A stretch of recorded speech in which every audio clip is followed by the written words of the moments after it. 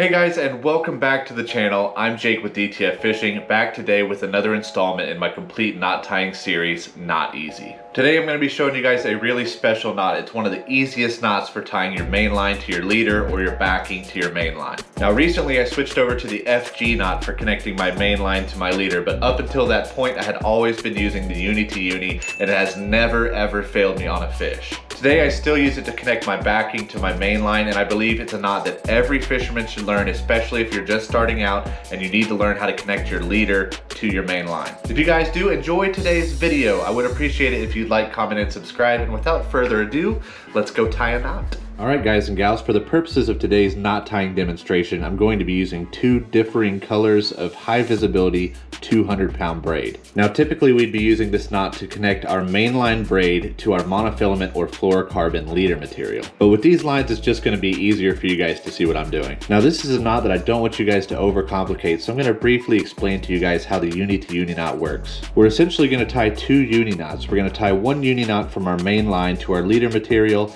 and one uni knot from our leader material to our main line. Now when we tie these knots, we're gonna tie them behind one another. These knots will actually be able to slide on the line, but they won't be able to slide past each other. And that's why the uni to uni knot works. And it's also why it's so effective for lines of differing diameters. Now to get started, we just wanna overlap our lines about eight inches, just like that. At this point, you're just gonna pinch the two lines together somewhere right in the middle. Now it doesn't matter which side you start on, but I'm gonna go ahead and start on this side over here and take this tag in and I'm gonna wrap it downward, forming a loop, and pinch that right over top of both lines, just like that. At this stage, we're gonna take this tag end and we're gonna wrap it around both lines inside of this loop. For heavier line, I like to do four to six wraps, and for lighter line, six to 10 wraps. These braids have a thicker diameter, so we're gonna do five wraps. So we'll go ahead now and start our wraps, and we're just gonna count them out.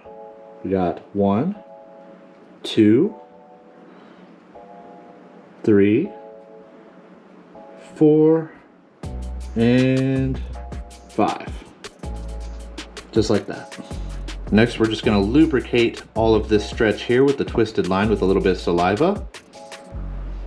Just like that. And we'll finish the uni knot on this side by pulling our tag end here, just to cinch that loop all the way up. Now we have our blue line representing our leader material tied to our main line with a nice classic uni knot. And now we're gonna essentially repeat the same exact process on the opposite side with the yellow line. So we'll take our main line now and we'll bring it around forming a loop, pinching across both of those lines. And now we'll go ahead and repeat the same wrapping process with five wraps. We got one, two, three, four, and five. Now once again, we'll lubricate this stretch here just like that. And then just like we did on the other side, we'll go ahead and start cinching the uni knot down on this side.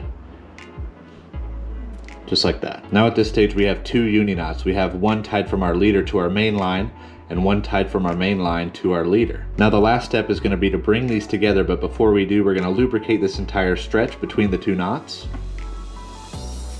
Just like that. And we're gonna go ahead and start pulling these lines apart to bring those two uni knots together in the middle. Once the knots meet, we'll go ahead and wrap our line around fingers on both sides like this, and just make sure we pull it extra tight.